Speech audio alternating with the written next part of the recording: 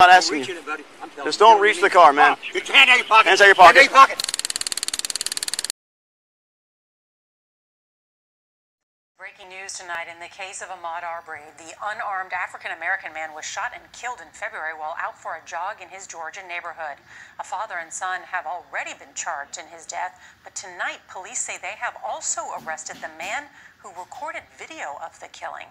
Investigators say they are charging William Bryan with murder and false imprisonment. Here's CBS's Manuel Bojorquez.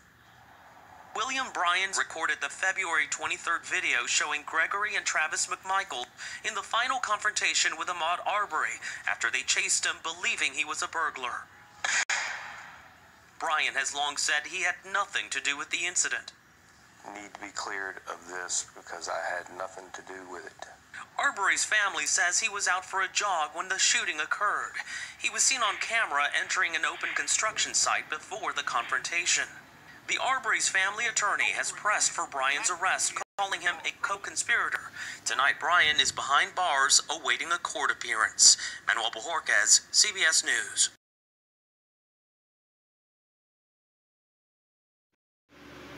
This is awkward occurrence or awkward entertainment.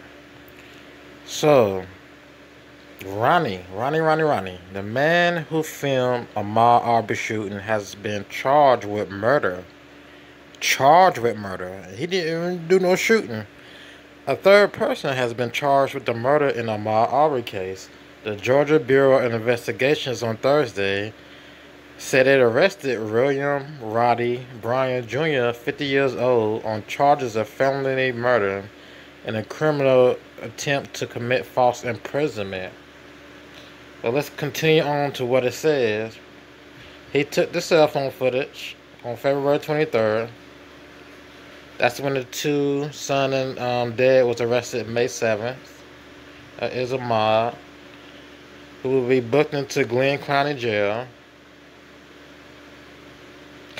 On an initial report noted Bryan allegedly or tried unsuccessfully to block Arby, who was jogging.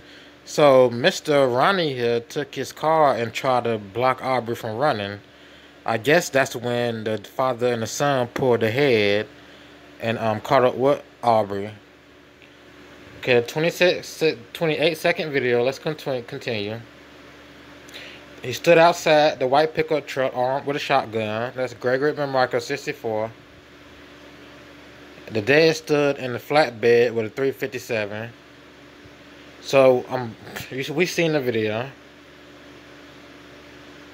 So the family is relieved.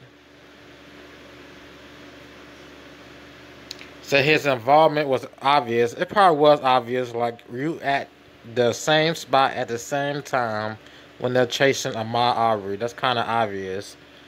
Like maybe they found out they know each other, Mr. Ronnie and these two people.